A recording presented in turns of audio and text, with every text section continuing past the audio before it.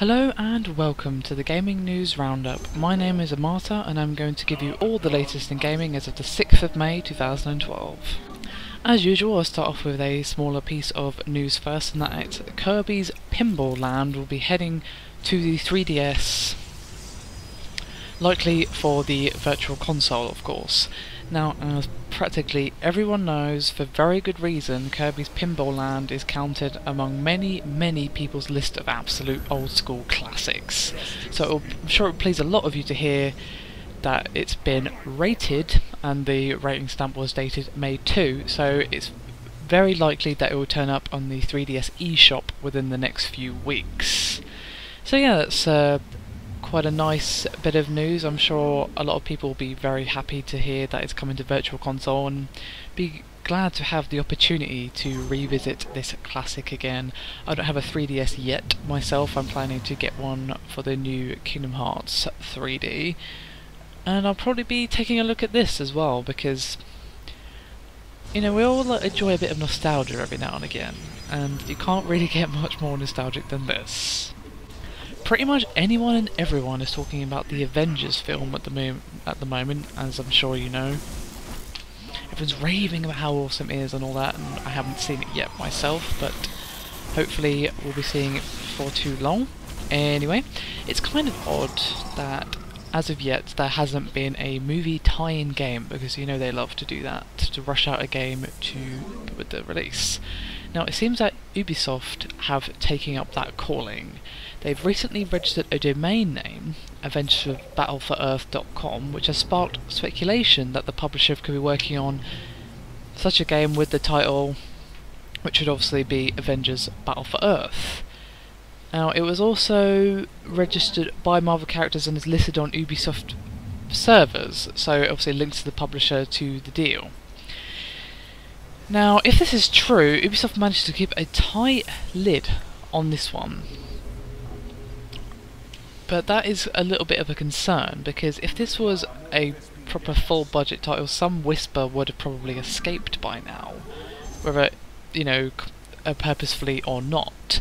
So it could be maybe a smaller budget browser based or something like that. I, I hope not because obviously if they're doing an Avengers game, which it certainly looks like they did, I'm sure most people would prefer that they make it into a proper game rather than say like a flash game or a Facebook game or whatever.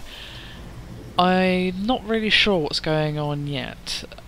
As some people have pointed out, a big budget title wouldn't be so easy to hide, so it is a little bit concerning that we've only just now seen about it when they've registered for this domain. So hopefully we'll get some more information about this soon. Personally, I hope that they actually take their time to make a proper movie tie-in game.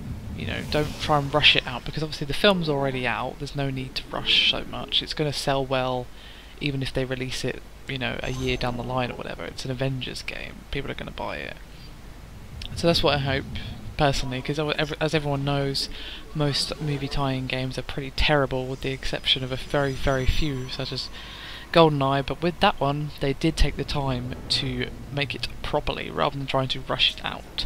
So hopefully they do that and don't go for a fast cash in with a full blown title or even with a some sort of flash game or Facebook game because I'm sure that would annoy quite a lot of people who don't really have interest in such things, which is more than fair enough. I don't think I'll be very pleased myself to be quite honest with you. So I'd be interested to hear your thoughts on that one and what you think this game is going to be and what platform it's going to be released on. Now, as a final piece of news, the web-based social gaming platform Zynga has got itself 2.8 monthly active users. The firm itself has confirmed this.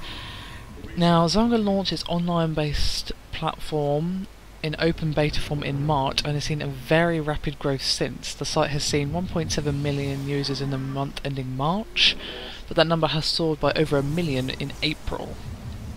At the time of doing this episode, the website showed 1.17 million concurrent players online, so as you can quite clearly see, Zynga are doing very, very well for themselves. And it's no surprise, you know, whether we like it or not, the rise of casual online games based on Facebook or Zynga or whatever cannot really be denied. And to be honest, we shouldn't fight against it too much because in a way, it opens up the world of gaming to people who perhaps felt excluded from it before, or perhaps would never even take an interest before. And while some people are just bored housewives or whatever, playing, you know, Bejeweled or whatever on Facebook, some people will find their way into the world of gaming find by finding a user-friendly, you know, casual browser-based game, or you know, Zynga or Facebook or whatever, and having that suck them in to the world of gaming. So the rise of things like this is a good and a bad thing at the same time, obviously. It's not all rainbows and sunshine, but I do quite like that this is happening because, as I said, it will be putting people who, into the world of gaming that perhaps wouldn't even have considered being in, involved. You know, some people play some simple browser-based thing or whatever, and then, you know, want to try something more in-depth.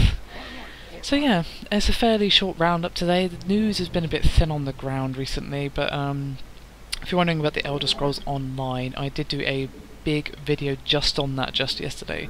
So go and check it out on our channel. It's there for you to watch if you want to know all the information that's available at the moment. So yeah, thank you guys for watching. Uh, please like, subscribe and do all that normal stuff, and I'll see you again soon.